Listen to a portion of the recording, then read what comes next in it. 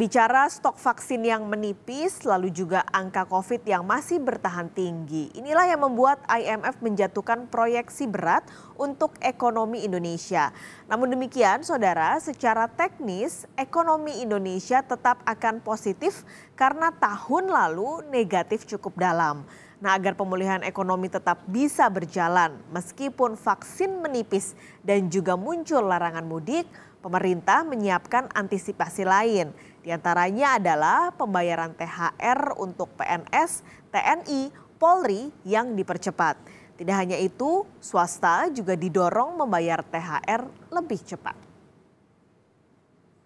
Jadi seandainya tidak ada mudik, mm-hmm. ya, seandainya uh, artinya mudik itu boleh, itu mungkin pertumbuhan ekonomi kita di kuartal kedua itu bisa 9 sampai okay. 10 persen. Kenapa seperti itu?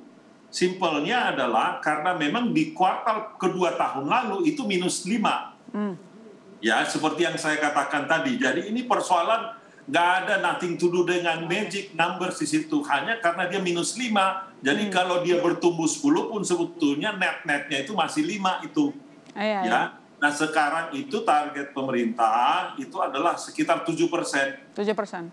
Ya 7 persen. Makanya mudik tadi itu pun meskipun dilarang mudik, maka hmm. dilakukanlah program-program yang tadi apakah perlinsosnya dipercepat kemudian juga THR karyawan gaji ke-13 atau THR dari ASN itu hmm. dipercepat semuanya ya itu yang kita lakukan supaya okay. jangan sampai uh, turun atau di bawah 5% tahun artinya di kuartal kedua ini kalau dia di, di bawah 5% bandingkan dengan 5% yang turun kuartal kedua tahun lalu maka itu akan menjadi sumber persoalan buat kita. Kita tidak menjadi optimis jadinya.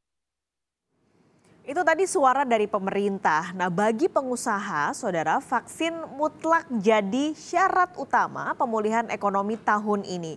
Sampai saat ini sudah banyak perusahaan yang mendaftarkan diri melakukan vaksin gotong royong atau vaksin mandiri semoga ini cuma uh, permasalahan yang apa namanya sementara yang uh, sementara ya temporary dan hmm. nantinya kan juga jangka panjang memang pemerintah menyadari bahwa dia nggak bisa cuma tergantung dengan satu vaksin jenis vaksin juga juga akhirnya pemerintah harus uh, membuka kesempatan untuk bisa memproduksi juga di dalam negeri. Yeah. Jadi saya pikir ini kita nggak bisa mikirin temporer sekarang, kita mesti juga memikirkan untuk uh, uh, jangka panjangnya. Tapi okay, baik. Uh, kami dari dari pelaku usaha makanya juga mendorong untuk adanya uh, vaksinasi uh, gotong royong, di mana kami juga mengharapkan ini juga bisa mempercepat uh, untuk herd immunity. Gimana perkembangan vaksin gotong royong sekarang, Bu Sinta?